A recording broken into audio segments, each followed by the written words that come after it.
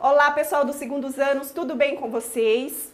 Hoje eu estarei com vocês para a nossa aula de matemática e junto comigo a professora Eliana. Olá, pessoal, tudo bem? Hoje vim ajudar a professora Damares. Bem-vinda, Pro. Obrigada. O tema da nossa aula de hoje, segundos anos, é gráfico de colunas. Porém, antes de iniciarmos, vamos relembrar um pouquinho o que nós estudamos na aula da semana passada? Vamos lá então. Na aula da semana passada, nós estudamos sobre os sólidos geométricos. Além disso, nós aprendemos a relacionar os objetos do cotidiano aos sólidos geométricos e identificamos também algumas características dos sólidos. Lá vocês puderam também relacionar aos diferentes grupos, o grupo dos corpos redondos e o grupo dos poliedros também, tá? Vamos lá então. Vamos pensar agora. Você já viu esse tipo de representação e como se chama? Veja bem, nós temos aqui uma representação. Essa representação, portanto, ela chama-se gráfico. Esse especificamente é um gráfico de colunas, isso mesmo. Vocês já viram, por exemplo, esse tipo de representação numa revista, num jornal, numa televisão? Já viram? Agora, para que serve o gráfico então? Para que serve esse tipo de gráfico? Ele serve para organizar um número considerável de informações, facilitando na visualização e na compreensão ali das informações do gráfico, tá? Agora, você sabia que os gráficos são recursos visuais muito utilizados para facilitar a leitura e compreensão das informações e divulgação de pesquisas. Agora nós veremos os portadores, ou seja, onde que nós podemos encontrar os gráficos. Nós podemos encontrar, por exemplo, num jornal impresso. Nós podemos também encontrar em uma revista. Nós podemos encontrar também em um site e nós podemos encontrar também na própria televisão tá? Vamos lá. Tipos de gráfico. Hoje, como eu disse para vocês, o foco da nossa aula será gráfico de colunas. Porém, é importante também que a gente conheça os outros tipos de gráficos, tá? Então vamos lá. Nós temos, portanto, existe o gráfico de colunas, que é esse que eu vou mostrar para vocês agora. Então veja bem, esse é um gráfico de colunas, por quê? Nós temos aqui as colunas, como vocês podem ver. As colunas elas estão na vertical. Então aqui, ó, na horizontal, nós temos as variações e aqui na vertical nós temos a escala, tá? Então gráfico de colunas, as colunas, portanto, na vertical. Agora nós temos também o gráfico de barras. Veja bem então o gráfico de barras. É esse aqui que eu estou mostrando para vocês. No gráfico de barras, nós temos as barras, porém, como vocês podem ver aqui, está na horizontal. Na horizontal aqui, como vocês podem ver também, nós temos a escala. Diferente do gráfico de colunas, a escala vem lá na vertical. Aqui nós temos, portanto, a escala na horizontal. E aqui nós temos as variações aqui na vertical, tá? Essa é a diferença, então, do gráfico de colunas para o gráfico de barras. Mas nós também temos, existe, portanto, o gráfico de linhas. Veja bem como é o gráfico de linha. O gráfico de linha, geralmente, ele é usado para mostrar a evolução de um dado ao longo do tempo, como vocês podem ver aqui no próprio gráfico, mostrando aqui a evolução do nível de partículas com precipitação. Ao longo do tempo, vocês podem ver aqui a própria data, 1 de janeiro de 2007 até 1 de setembro de 2007. Então, mostrou aí a evolução aí, no caso do nível de partículas. Nós também temos, segundo os anos, o gráfico de setor, tá? Vou mostrar para vocês então o nosso gráfico de setor. O gráfico de setor, como vocês podem ver, ele tem um formato de uma circunferência, tá? Ou seja, ele mostra o todo. Depois ele é dividido conforme a quantidade de cada dado. Como vocês podem ver aqui, ele foi dividido, mostrando, portanto, aqui a quantidade exata de cada dado. Vamos lá. O gráfico de colunas é uma forma de organizar um conjunto de dados de uma pesquisa, que é o que faremos ao longo da nossa aula de hoje, tá? O gráfico de colunas permite uma rápida visualização dos dados, possibilitando a obtenção de informações rapidamente. É aquilo que eu disse para vocês no início da aula. O gráfico, portanto, ele facilita a visualização e a compreensão ali dos dados apresentados. Aqui eu trouxe para vocês na aula sobre tabela de dupla entrada, realizamos uma pesquisa e organizamos os dados na tabela. Então, não sei se vocês se lembram, segundo os anos, nós construímos junto essa tabela na aula de tabela de dupla entrada. Como vocês podem ver, os dados apresentados nessa tabela foram a partir de uma pesquisa, né, na qual eu realizei com os meus alunos do segundo ano A, tá? Agora, nós pegamos, organizamos os dados da tabela em um gráfico de colunas. Eu peguei aqueles mesmos dados da tabela, tá, que nós construímos e organizei aqui, portanto, no gráfico, tá? No gráfico de colunas. O que eu quero mostrar para vocês é o seguinte: tanto a tabela quanto o gráfico é um importante instrumento de organização de dados de uma pesquisa, tá? Por isso que eu trouxe os dois para vocês. Conhecendo os elementos de um gráfico, vamos conhecer agora os elementos de um gráfico. Então, o gráfico ele é composto pelo título, como vocês podem ver aqui, título do gráfico, frutas preferidas da turma do segundo ano. Então, o título informa o que será tratado ali no corpo do gráfico, tá? Nós também temos no gráfico de colunas o eixo horizontal, como a própria é, setinha aqui está indicando, eixo horizontal, e nós temos também o eixo vertical. No eixo horizontal, nós temos, nós temos as variações. O que são as variações, pessoal? Veja bem aqui, as variações nós temos aqui morango, melancia, uva e banana. As variações é, portanto, os dados né, encontrados na pesquisa. Variações, os dados encontrados na pesquisa. Nós também temos a escala. Veja então a escala então desse gráfico aqui, ó. Essa escala ela foi de 1 em 1. Então, veja, ó, 0, 1, 2, 3, 4, 5 e 6. Nesse caso, essa escala foi de 1 em 1, mas ela pode variar. Ela pode ser de 2 em 2, de 5 em 5, de 10 em 10, de 100 em 100, dependendo aí dos valores encontrados na pesquisa, tá bom? Nós também temos, neste caso aqui, as colunas, como vocês podem ver aqui, nós temos as colunas. O que, que as colunas representam, pessoal? As colunas representam a quantidade de cada dado encontrado na pesquisa, tá bom? E nós também temos a legenda, isso mesmo. Veja bem então aqui a nossa legenda. A cor azul, que representa no caso os meninos, e a cor rosa, que representa, portanto, as meninas, tá? Nós temos também, segundo os anos, a fonte. Veja então a fonte deste gráfico. Fonte, segundo o ano A, é MEB Nazaré. O que significa então a fonte? De onde essas informações foram extraídas, ou seja, de onde essas informações foram retiradas. Vamos agora para uma pesquisa, isso mesmo. Nós vamos conhecer as quatro etapas de uma pesquisa, tá? Detalhadamente. Portanto, para essa pesquisa, eu pensei no seguinte tema: brincadeira, tá? Então, a partir deste tema, eu elaborei a seguinte pergunta: Que brincadeira você mais gosta? Essa pesquisa foi realizada com os meus alunos do segundo ano A da escola Nazaré.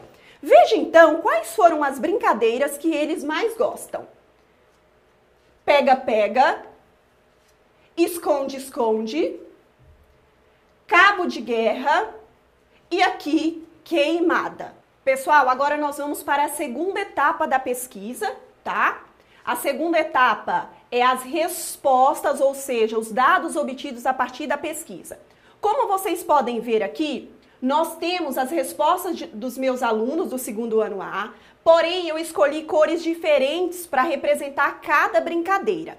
Mesmo usando esse critério, né, para estabelecer ali o número de votos de cada brincadeira, vocês podem perceber que essas informações ainda estão desorganizadas, estão difíceis de nós visualizarmos, de compreendermos esses dados. Portanto, o que, que nós faremos agora? Nós faremos a terceira etapa da pesquisa, que é o que? A organização desses dados. Para isso, nós vamos, nós vamos utilizar um importante instrumento, que é o próprio gráfico de colunas, que é o tema da nossa aula de hoje. Então, agora, nós faremos juntos a construção desse gráfico, tá? Comigo também a professora Eliane. Vamos. Primeiro passo para construirmos o gráfico, nós temos que pensar no título, ou seja, o que será tratado naquele gráfico. Como o tema da nossa aula foi brincadeiras e a pergunta foi brincadeiras que os alunos mais gostam, o título da nossa aula é Brincadeiras da turma do segundo ano A, tá? Vamos colar então o nosso título. Então, onde vai o título? Aqui, né, Pro? Sempre no início do nosso gráfico. Agora, nós iremos também inserir aqui no nosso gráfico as variações, pessoal, ou seja, os dados coletados ali a partir da pesquisa. Vamos lá, Pro? Vamos lá. Primeira brincadeira. Cabo de guerra. Isso mesmo. Segunda brincadeira. Esconde, esconde. Esconde, esconde. Terceira brincadeira. Pega, pega. E quarta brincadeira. Queimada. Isso mesmo. Agora, pessoal, nós vamos inserir a escala, aquilo que eu já disse para vocês anteriormente. A escala não precisa necessariamente ser uma escala de um em um. Nesse caso, nós vamos usar uma escala de dois em dois, tá?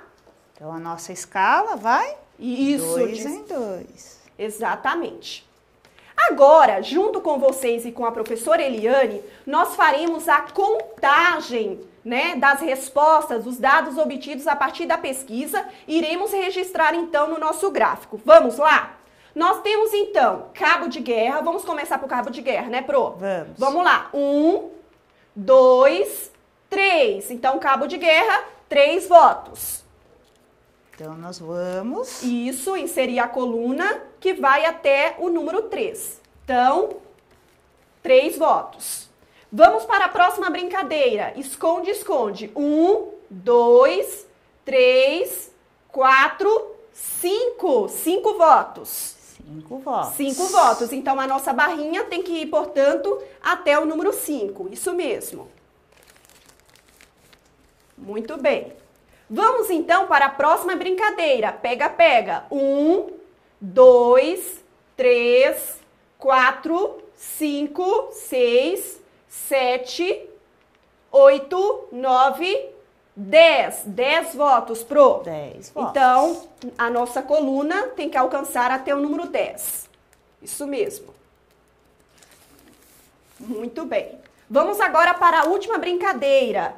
Um, dois. Apenas dois votos. Então, a nossa coluna tem que alcançar até o número 2. Muito bem.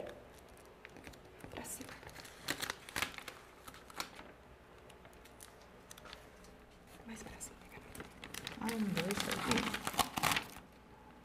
Isso. Muito bem.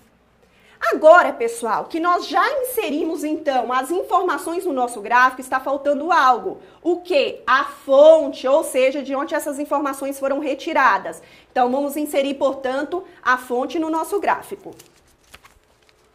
Que foi a sala da, da Pro Damares. Isso Segundo ano A. Muito bem.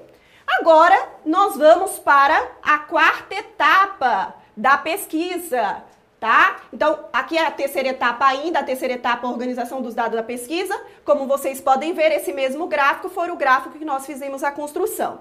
Vamos agora para a quarta etapa, que é a análise dos dados da pesquisa. Vamos lá, então. Qual a brincadeira teve maior número de votos? Vamos observar então aqui o gráfico. Observando o gráfico, qual foi a brincadeira que teve o maior número de votos? Veja bem, Cabo de Guerra teve, portanto, três votos, Esconde-Esconde teve cinco votos, Pega-Pega, 10 e Queimada apenas dois votos. Então, qual a brincadeira mais votada? Foi qual brincadeira? Isso mesmo, Pega-Pega. Agora, qual brincadeira menos votada? Vamos observar então. Nós vimos que pega-pega foi a mais votada porque teve 10 votos. A menos votada, observando aqui o próprio gráfico, nós podemos ver que é qual? Queimada. Por quê? Porque obteve apenas dois votos. Então veja bem, queimada.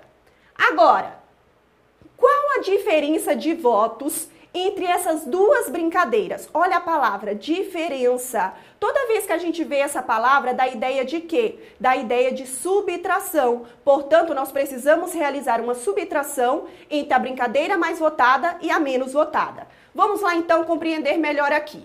Veja bem, nós temos aqui as brincadeiras pega, pega e queimada, queimada com dois votos.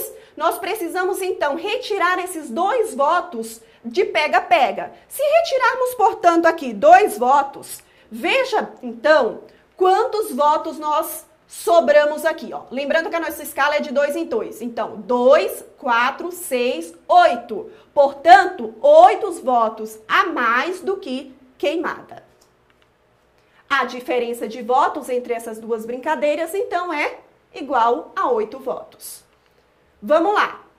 Quantos votos as brincadeiras esconde-esconde e cabo de guerra receberam juntas? Então, vamos observar aqui o gráfico. Ó. Cabo de guerra com três votos e esconde-esconde com cinco. Três mais cinco é quanto? Oito. Isso mesmo. Então, elas receberam juntas, portanto, oito votos. Agora, quantos alunos participaram da votação? E aí, como que eu faço para descobrir quantos alunos participaram da votação? Eu faço o quê? Eu faço a soma de todos os votos aqui. Então, cabo de guerra, três votos. Esconde, esconde, cinco. Três mais cinco, oito. Pega, pega, dez. Então, oito mais dez, dezoito mais 2 de queimada, 18 mais 2, portanto, 20 votos. Então, quantos alunos participaram da votação? 20 alunos. Vamos continuar agora. Leitura e interpretação de gráfico. Agora nós faremos a leitura e a interpretação desse outro gráfico que é brinquedos mais vendidos em setembro. Lembrando que os dados são fictícios, pessoal, ou seja, foram criados, tá? Não partiu de uma pesquisa específica, tá bom? Então vamos lá. Qual o brinquedo menos vendido e qual a quantidade? Vamos lá? Nós temos aqui, portanto, o mesmo gráfico que nós vimos anteriormente no slide. Baby Live teve, portanto, foram vendidos 60. Lança Dardo foram vendidos 25. Hot Wheels, 35. Boneco Titã, 10. E skates, 25. Observando então o nosso gráfico, qual foi então o brinquedo menos vendido? Observando aqui pelas próprias barrinhas já dá pra gente saber. Então vamos lá, ó. Boneco Titã com apenas 10 itens vendidos, tá? Boneco Titã. Agora, qual o brinquedo de maior venda e qual a quantidade? Como nós já vimos aqui, pela própria barra, já dá pra gente perceber. Qual foi o brinquedo mais vendido? Baby Alive com 60 bonecas, então, vendidas. Isso mesmo, veja bem, Baby Alive. Agora, quantas Baby Alive foram vendidas a mais que o boneco Titã? Olha a palavra a mais, dá ideia de quê? De comparação entre essas duas quantidades. Ou seja, nós teríamos que realizar, portanto, uma subtração. Isso mesmo. Para a gente poder entender melhor, vamos continuar aqui para vocês entenderem, ó. Então, boneco Titã foram vendidos, portanto, 10 bonecos. Nós precisamos realizar então uma subtração, ou seja, nós iremos retirar esta mesma quantidade 10 da Beba Life aqui que vocês estão vendo. Então retiramos 10. Vamos ver quanto vai sobrar? Veja bem, lembrando que a nossa escala é de 5 em 5. Então vamos lá, ó. 5, 10, 15, 20, 25, 30, 35, 40, 45, 50. Ou seja, quantas Beba Live foram vendidas a mais que boneco Titã? Isso mesmo, foram vendidos, portanto, 50 bonecas a mais. Agora, quais brinquedos tiveram a mesma quantidade de vendas e qual o total dos dois juntos? Vamos então observar o nosso gráfico aqui. Onde é que nós podemos ver aqui que a nossa coluna tem a mesma quantidade? Observando aqui, nós podemos ver que Lança Dardo teve, então, 25, né, de vendas, e o skate também a mesma quantidade, ó, 25 também. Então foram quem? lança-dardo e skates, que obtiveram a mesma quantidade. Agora, quanto que os dois, é, somando as duas quantidades, quanto que dá? Se um vendeu 25 e o outro 25 também, juntando os dois, quanto que dá? 25 mais 25, portanto, é igual a 50, tá? Então, foram vendidos 50 brinquedos. Qual a diferença de vendas entre os brinquedos Hot Wheels e skates? Olha a palavra, pessoal, a diferença, isso mesmo. Ou seja, nós temos aí a ideia de subtração. Então, vamos lá observar o gráfico mais uma vez? Hot Wheels e skates. Então veja bem aqui, ó. Nós precisamos saber quantos Hot Wheels foi vendido a mais do que skates. Então, Hot Wheels 35, skate, portanto, 25, ó. Aqui 35 e aqui 25. E aí, 35 menos 25, quanto que dá? Isso mesmo, é igual, portanto, a 10. Nesta aula, aprendemos a organizar os dados de uma pesquisa em um gráfico de colunas. Bom, pessoal, a nossa aula está chegando ao fim. Eu espero que vocês tenham gostado da nossa aula de hoje. Muito obrigado pela atenção de vocês. Agradeço também a participação da professora Eliana e até a nossa próxima aula. Até a próxima, pessoal. Olá, galerinha. Tudo bem? Eu sou o professor Gilvar Andreotti e estou aqui hoje com a professora Tati, com a professora Karina e nós somos professores aqui da Rede Municipal de Itatiba e viemos trazer algumas atividades para brincar com vocês hoje. Vamos lá? Bom, a nossa primeira atividade hoje é o ovo ball. E qual vai ser os materiais necessários para a gente brincar hoje? Uma caixa de ovos, tá bom? E algumas bolinhas. Qualquer bolinha que você tiver em casa aqui ping. E como que vai funcionar? Uma pessoa vai ficar segurando a caixa de ovo. Professora, querendo, por favor? Isso. E os outros vão ficar aqui do outro lado. E cada um vai ter três tentativas. Então a professora Karen vai ficar de frente para mim. Aqui a gente marcou algumas, algumas pontuações, né? 1, 5, 15. E dependendo da onde a bolinha cair, vai ser somado o ponto. Então como vai funcionar? Vamos lá. Vou jogar e a professora Karen vai tentar me ajudar. Foi um. Dois. Ah, tem mais uma bolinha, vamos mais uma. Quatro vezes, vamos lá. Aí, vamos ver quantos pontos a gente fez? Vamos lá, então foi um ponto, dois pontos, valia cinco, sete pontos, oito pontos. Agora vamos ver a professora Tati. Tomara que ela acerte menos. Eu ganhar. Vamos lá.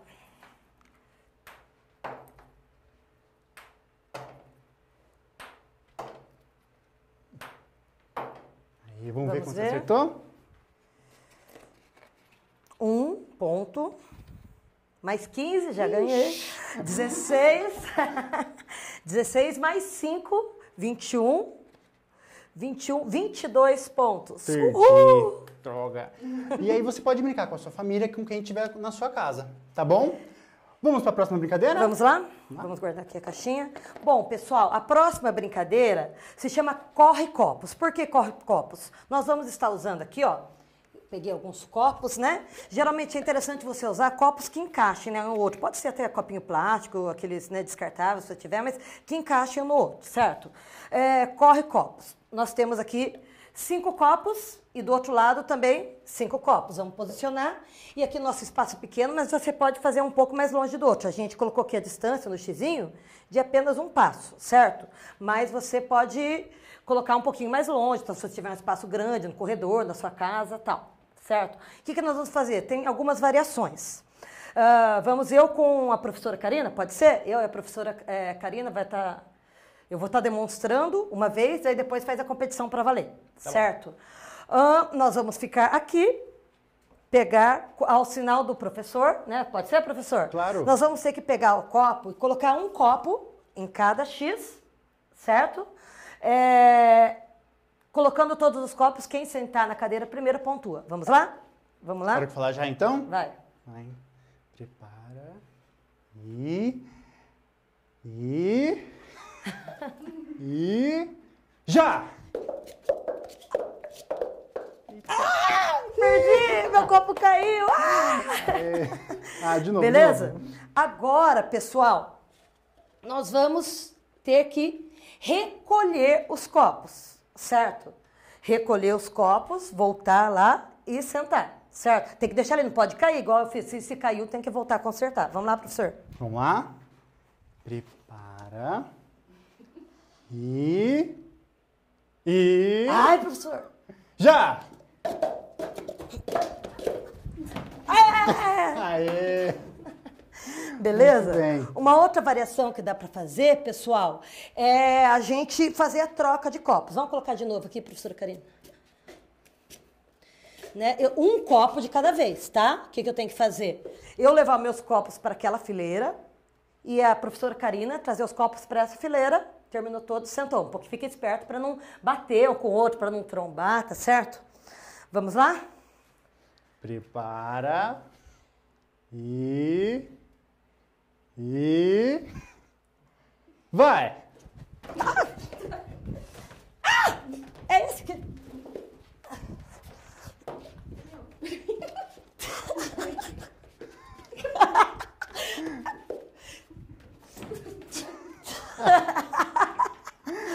Ufa! Esse confunde um pouquinho a cabeça, certo, gente? Mas, finalizando, certo? Muito legal. E uma outra variação que dá pra gente fazer, que é bem legal também, é a gente abrir e fe... se você na sua casa tem espaço, você pode fazer zigue-zague, né? Corrida de zigue-zague, igual no treino de futebol, né? Que a gente, né, fica assim. Só que aqui, como nós temos pouco espaço, o que, que nós vamos fazer?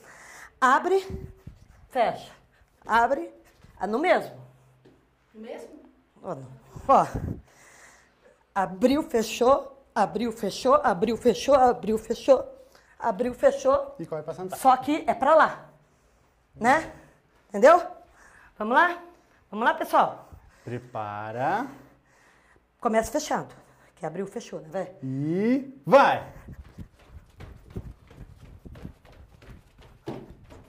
Aê! Aê! Uhul! Ganhei, professora! e aí, pessoal, bem legal essa atividade, tá? Adapta em casa, faz num espaço maior para correr bastante. E agora o professor Giovanni vai explicar a próxima atividade para vocês. Pessoal, agora a última atividade de hoje, nós vamos fazer o campo minado. E como que vai funcionar o campo minado? Você pode usar os pisos do chão da sua casa, tá bom? E como vai funcionar? Cadê aquele papelzinho? Ah, tá aqui. Deixa eu pegar. Você vai fazer numa folha de papel a quantidade certinha. Aqui a gente fez três, né? Cinco. E vai fazer igual no, no, no piso da sua casa. Aqui a gente está fazendo com fita crepe, tá bom? E o que, que a gente vai fazer? A gente vai anotar alguns lugarzinhos que tem as bombas. Então aqui a gente colocou Tira o X? a bomba aqui, uma bomba aqui, uma bomba aqui, uma outra bomba aqui e uma aqui. Só que as professoras não sabem. E como que vai funcionar? Um vai ficar lá e elas vão pular para algum lugar. Se caso ela pular no lugar que tiver bombinha, ela vai ter que voltar desde o começo, até ela cons- conseguir chegar no final. Tudo bem? Vamos lá, professoras? Só um minutinho, professor. a Tranquilo, gente está vamos- arrumando o campo minado aqui, Deixa certo? vocês aqui. Vamos lá?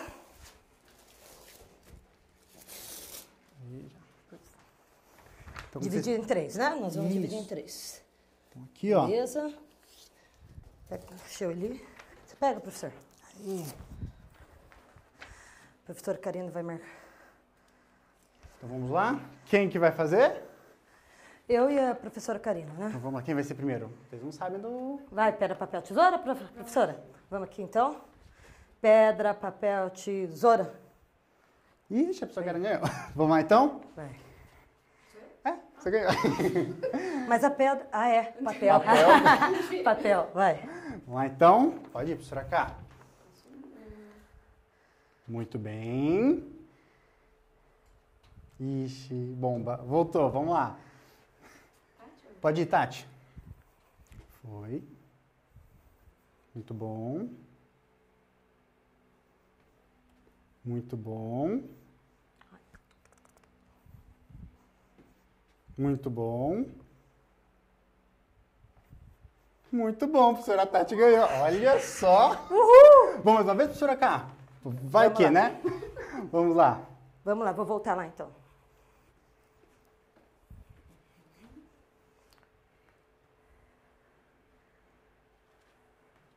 Muito bom. Aí. Muito bem, ganhou também. É, uma dica interessante, né? Memorizar o caminho que o outro Sim. fez, né? Se você errou a primeira, memoriza, né? O caminho que o colega fez, que foi isso que a professora Karina fez, que se deu bem. E se né? caso eu errar, né? É, Não, não cometeu o mesmo erro que onde você apertou. exatamente. Pessoal, obrigado por hoje. Espero vocês na próxima aula, viu? Tchau, tchau. Beijão, tchau, tchau. Olá, pessoal dos segundos anos, tudo bem com vocês? Mais uma aula de língua portuguesa. E hoje nós vamos ver diferentes versões do mesmo conto e vamos fazer a leitura de uma notícia, tá bom? Uma notícia bem diferente, eu acredito que vocês vão gostar bastante. Para começar nossa aula, opa! Para começar, a professora sempre pede que vocês estejam aí então com o caderno para fazer as anotações. Colocando então o cabeçalho com o nome da escola, cidade e data. Olha lá, o nome da escola, Itatiba, a data que vocês estão assistindo essa aula, o mês e o ano. Escrever o nome da disciplina e atividade. Esse a professora sempre deixa pronto aí para vocês, né? Lá, língua portuguesa, na aula de hoje, diferentes versões e leitura de notícias. É sempre importante fazer algumas observações no caderno, tá bom? Principalmente em língua portuguesa, que nós estamos estudando o projeto Contos, né? E às vezes, no banco de atividades, acaba ficando alguma dúvida, ou as professoras estão fazendo aula, vocês não estão conseguindo né, entender alguma coisa, então é sempre importante fazer algumas observações. As observações podem ser forma da escrita, né, quando vocês estiverem observando as aulas, ou então representações a partir de ilustrações, como a professora já sugeriu em algumas aulas daqui, certinho? Muito bem. Mas antes da gente inserir o conteúdo de hoje, nós vamos fazer uma breve retomada do que nós vimos na última aula. O que, que nós vimos então? Nós fizemos uma análise do conto Gato de Botas, até falei para vocês que era uma análise bem diferente, né? Foi feita uma análise em forma do jogo do quiz. E fizemos o estudo de alguns sinais de pontuação. Lembrando que a professora ainda vai voltar com mais um sinal de pontuação que inclusive aparece, está aparecendo lá no sétimo bloco de atividades. Né? A professora vai dar um, uma ênfase diferente para um dos sinais de pontuação. Provavelmente na próxima aula a gente vai estar analisando esse sinal então. Certo? E hoje nós vamos fazer uma análise, uma comparação de uma história muito conhecida. Você já conhece a história da Cinderela ou Gata Borralheira? Prepare-se que aí vem um desafio. Essa história da Cinderela ou da Gata Borralheira, como a professora colocou aí para vocês, isso vai o nome vai depender bastante do escritor, tá? A professora vai trazer a análise de alguns trechos dessa história de, dos dois principais escritores dessa, desse conto, tá bom? Que vocês vão ver daqui a pouquinho. Esse conto está nesse livro aqui também, do Ler e Escrever. Algumas pessoas estão com um pouco de dificuldade para identificar, né? Então, eu sei que as escolas entregaram o livro laranja, que é o livro de texto dos alunos, e esse livro aqui, o Ler e Escrever, e que é o EMAI. Então, tem as atividades tanto de matemática quanto de língua portuguesa. E se vocês virem aqui, na segunda parte do livro, vai aparecer, então, os contos. Alguns são só para leitura, olha lá. No livro, nós temos a versão Cinderela, tá bom? Então, é nessa, nessa página aqui, ó, página 162. Vocês podem estar fazendo a leitura na íntegra do texto, tá bom? Então, usem bastante o livro aí como referência, principalmente para as atividades que vão estar trabalhando com o conto de fadas, porque nem sempre é possível a professora trazer o conto na íntegra aqui, né? Então, é por isso que a professora sempre faz a referência para vocês estarem buscando, ou nesse livro aqui, do Ler, Escrever e EMAI, ou no livro de texto dos alunos, que também tem bastante contos lá, tanto do Charles Perrault, como dos irmãos Greens, tem do Hans Christian Andersen, tá bom? Então, procurem sempre fazer a leitura na íntegra do texto quando a professora não trazer, não trazer para vocês, certo? E antes, vocês vão me acompanhar aqui agora para saber então quem são as personagens desse conto, né? Fazer uma relembrar um pouquinho aí quem são as personagens desse conto que a professora vai estar trazendo agora para vocês, né? E mais ou menos como que é o enredo da história, para depois a gente fazer então a análise das versões, certinho? Vamos acompanhar a professora aqui então, olha lá.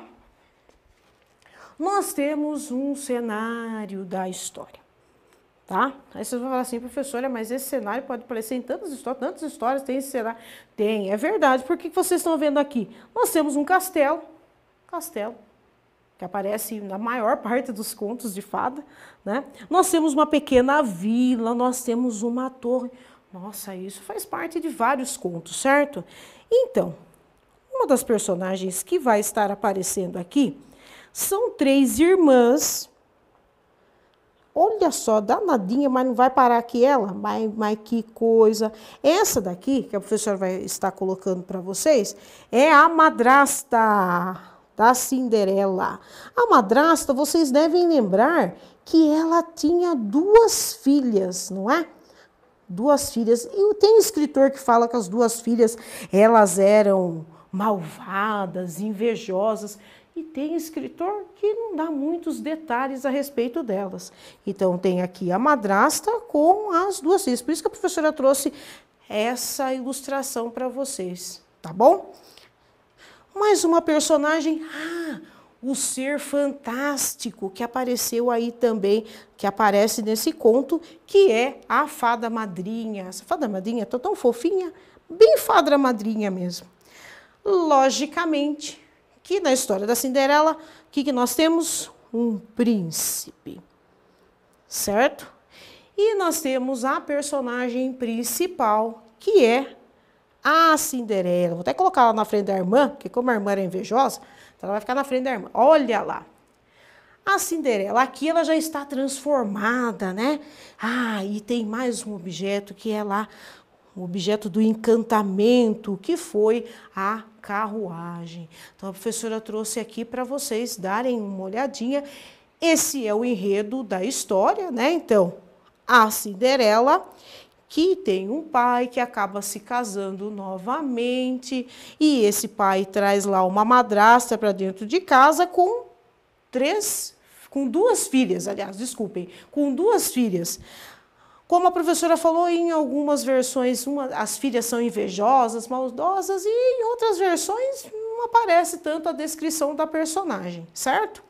Nós temos a carruagem, que foi transformada, né, que era abóbora, que foi transformada em carruagem para Cinderela ir no, ao baile e conhecer o príncipe. E faltou aqui que a professora não achou mais um objeto muito importante, que é o sapatinho de cristal né? Que o príncipe vai descobrir que a Cinderela é Cinderela a partir do sapatinho de cristal.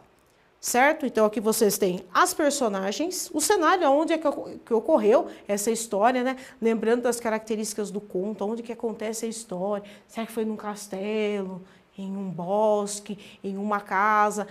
Esse conto começa bem diferente, né? Já começa narrando ali no reino, mas o foco acaba voltando para casa da Cinderela, né? Para casa, para o casamento do pai, da tristeza que ela passa. Em uma das versões, o pai acaba falecendo, ela acaba vivendo com a madrasta e as outras duas irmãs ali, né? Para saber mais a respeito da história na íntegra, então, por isso que a professora trouxe o livro do Ler e Escrever, mas se eu não me engano, no livro de texto do aluno, o Laranja, também tem outra versão da Cinderela ou Gata Borralheira, certo? Agora que a gente vai, então, fazer a análise dessas versões. A professora trouxe a versão de dois dos dois principais escritores. Antes, Vamos conhecer os autores das versões? Olha lá. O primeiro, a primeira versão é do Charles Perrault. A professora já falou a respeito dele aqui e da importância que foi com Charles Perrault que deu aí uma guinada para os contos de fada. E nós temos os irmãos Green. Né? Eles fizeram uma outra versão. Nesse livro do Emma Escrever é a versão dos irmãos Green que vocês vão encontrar, tá? Vamos lá então para a primeira versão, que é a do Charles Perrault. E olha como ele dá o um nome diferente, gente. Ele dá o nome de sapatinho de cristal. Vou usar meu vestido de seda enfeitado com rendas feitas de fio de ouro. A mais nova replicava. E eu, que só tenho um vestido simples, eu usarei minha sobressaia bordada com pedrarias e a capa de veludo que veio da Inglaterra. As irmãs, sabendo que Cinderela tinha muito bom gosto, chamaram a menina para pedir sua opinião. Ela aconselhou-as com boa vontade e ofereceu-se para penteá-las. Enquanto as penteava, as irmãs perguntaram: Cinderela, você gostaria de ir ao baile? Ai, quem me dera, respondeu a menina. Não é isso que me convém. Vamos lá então, pessoal. Vocês estão vendo que essa parte se refere a ao desenvolvimento do texto é a parte em que as irmãs estão se preparando para ir ao baile, né? Vamos ver agora a versão dos irmãos Grimm. Ah, começa com uma diferença a partir do título. Olha lá. Os irmãos Grimm já deram o nome de A Gata Borralheira. Em outras versões traduzidas do irmão, dos irmãos Grimm, vocês vão ver já Cinderela. Logo chegou o dia do baile e Enquanto as irmãs passavam o tempo todo se arrumando, Gata Borralheira, como sempre, fazia todo o serviço da casa. À tarde, para fazê-la sofrer ainda mais, as duas a obrigaram a passar seus vestidos e a pentear-lhes os cabelos para irem à festa. Quando já estavam quase prontas, as maldosas meninas lhe disseram: Agora você pode voltar para a cozinha. Lá é o lugar certo para uma gata borralheira. Muito magoada, a gata borralheira foi procurar a madrasta para dizer-lhe que também queria ir ao baile. Mas a mulher, ao ouvir o pedido, respondeu: Você, gata borralheira? Como quer ir ao baile se vive tão suja e empoeirada? Ainda por cima, você não tem nem vestido nem sapatos adequados.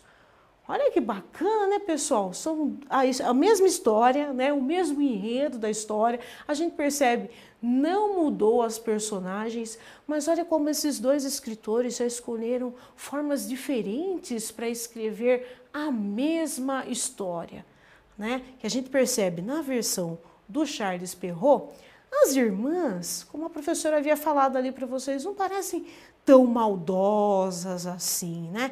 Elas até reconhecem que a Cinderela tem bom gosto, então chama a Cinderela para ajudá-las a se vestir para ir ao baile. Quando a gente chega na versão dos irmãos Grimm, a gente já percebe que essas irmãs, hum, já não são tão bem intencionadas assim, né? E a madrasta que aparece que não aparece na primeira versão que a professora colocou aqui, mas aparece aqui, a gente já viu, tem uma ideia de que é uma madrasta também que não trata a Cinderela de forma muito bem, né? Trata ela como se ela fosse uma empregada e não como parte da família.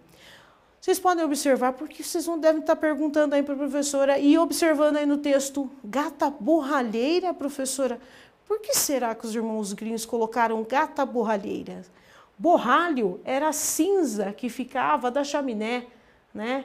Como esse conto é muito antigo, as pessoas em casa tinham, né, aquelas chaminés, aquela lareira para se aquecer. Hoje é comum, mas é uma coisa mais chique, né? Pessoas falam que tem lareira dentro de casa, você fala, nossa, que coisa mais chique. E antes era algo muito mais necessário. Né? As pessoas utilizavam mesmo a lareira para poder se aquecer. E ela vivia suja de borralho, que era aquela cinza que ficava na borda da lareira. Depois que queimava a madeira, formava aquela cinza, aquela cinza grossa. Como ela era tratada como empregada, ela que fazia essa limpeza. Então ela estava sempre suja de borralho. Então apelidaram ela de gata borralheira. Então, lá no Charles Perrault era sapatinho de cristal e aqui dos irmãos Grimm, a gata borralheira, certo? Vamos lá então.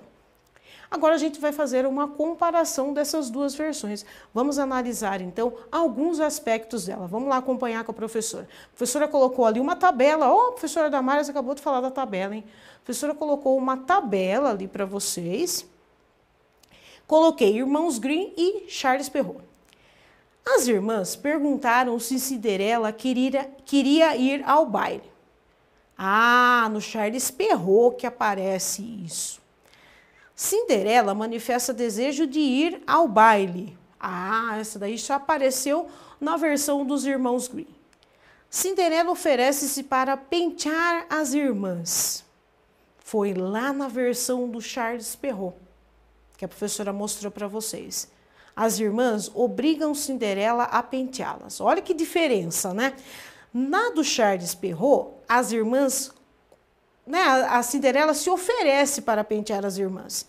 E já na outra versão, as irmãs obrigam, na versão dos irmãos Grimm, não, as irmãs não são nada simpáticas, obrigam a Cinderela a penteá-las. As irmãs pedem a opinião da Cinderela, lá na versão do Charles Perrault. As irmãs não têm consideração por Cinderela. Fica mais claro essa questão que a professora trouxe na da versão dos irmãos Green, tá bom? Mas, no decorrer da versão do Charles Perrault, a gente percebe que as irmãs não têm lá muita consideração por ela, não. Mas que fica muito mais claro, né? Essa descrição fica muito mais, cara, mais, mais claro lá nos irmãos Grimm. Opa, tô atropelando hoje. Mas, olha lá, como a professora colocou para vocês, a estrelinha apareceu também lá no Charles Perrault. Porque ali a gente percebe que elas não têm uma intenção muito boa, né? Até a forma de tratar a Cinderela já é diferente. Em uma das versões, Cinderela é mais triste do que na outra. Que palavras ou frases nos levam a perceber essa tristeza? Nós não estamos comparando versões, pessoal? Então, olha lá a importância da forma de escrever. A gente percebe que nas duas versões ela aparenta ser muito triste, uma pessoa muito triste. Mas em uma dessas versões fica muito mais claro para nós leitores o quanto ela era triste. Ah, na versão dos irmãos Green. E que palavrinha ali ou expressão leva a gente a perceber que ela estava muito triste, muito magoada. Né? Foi quando a madrasta vai lá e fala para ela: Imagina você, uma gata borralheira, ir a um, uma festa de um príncipe. Aí ele descreve que ela ficou extremamente, ela ficou muito magoada. Embora na versão do Charles Perrault a gente perceba também que ela é uma pessoa triste, pelo modo que ela vive junto com as irmãs e a madrasta. Veja como um aluno reescreveu o início do conto da Cinderela. Ele já começou pelo título Cinderela.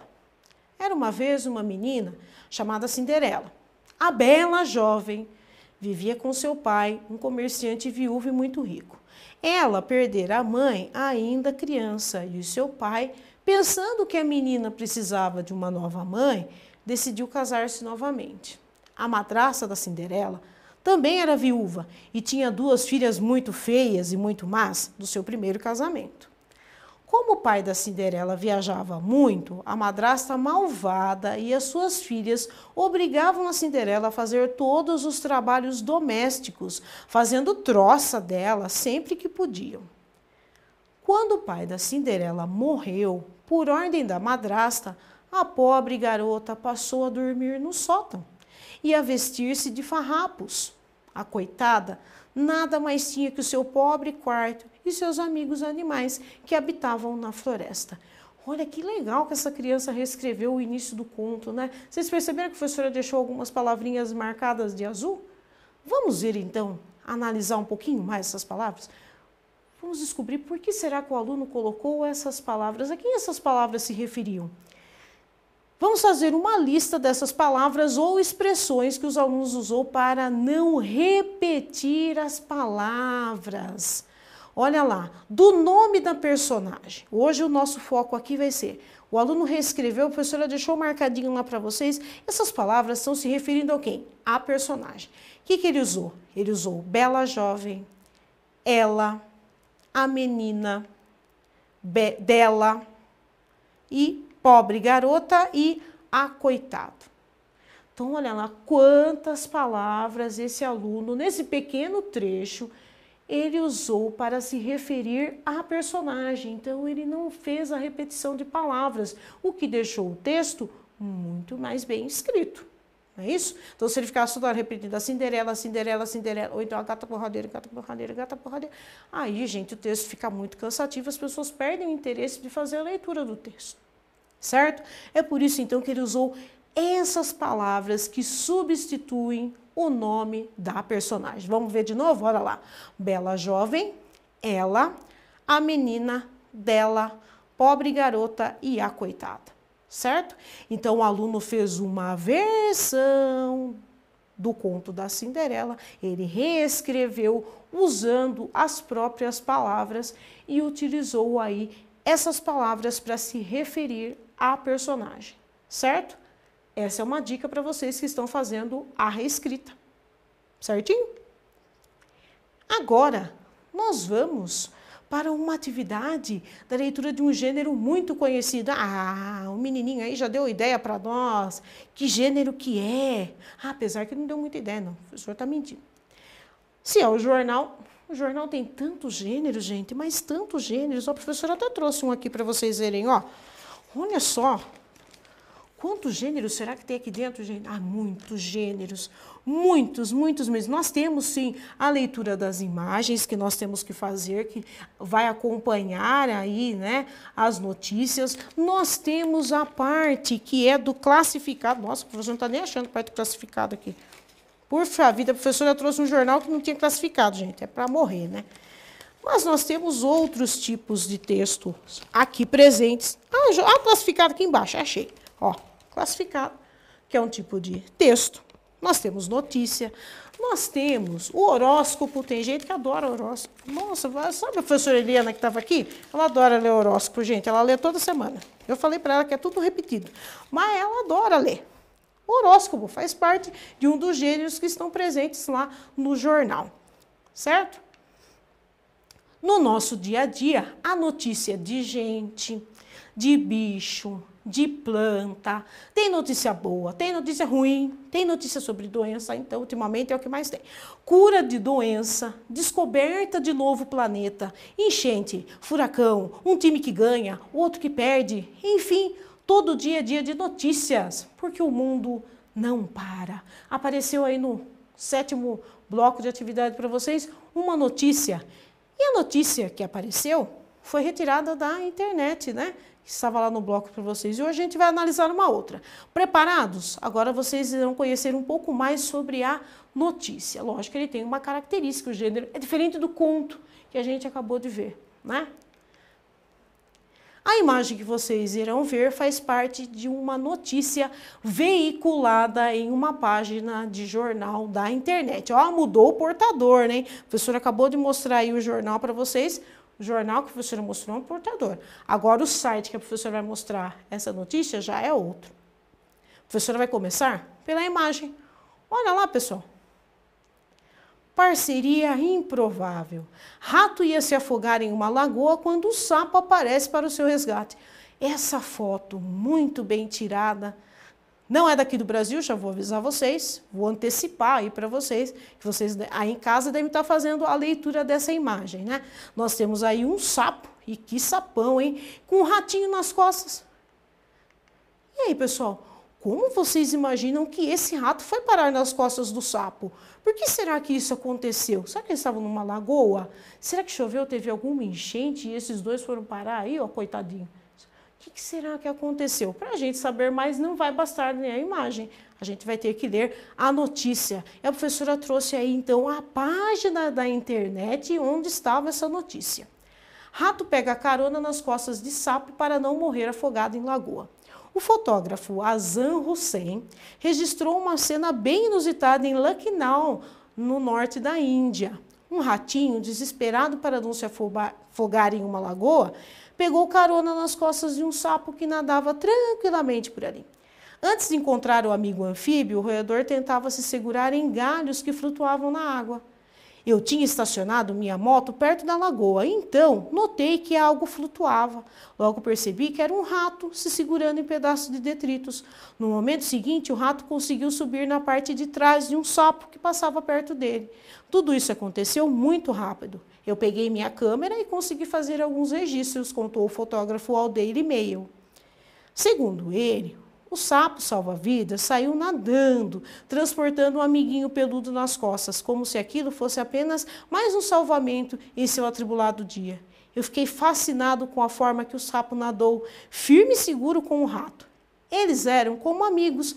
Infelizmente, eu não consegui pegar o um momento em que o anfíbio chegou à margem para deixar seu passageiro são e salvo. Lamenta. Então, olha aí, vejam bem como o formato da notícia é bem diferente daquele que a professora mostrou ali, né? Qual o assunto da notícia? Um sapo que salvou um rato do afogamento. Onde aconteceu o fato? Em uma lagoa em Lucknow, lá no norte da Índia. Vamos ver se o professor pronunciou certo, hein? Releia um texto que acompanha a imagem, olha lá. Parceria improvável. Rato ia se afogar em uma lagoa quando o sapo aparece para o seu resgate. Olha lá um texto que acompanha a imagem. Sem esse texto a gente não vai saber, então. Né? Esse texto curto que acompanha a foto é chamado de legenda. Ela serve, então, para que será, não?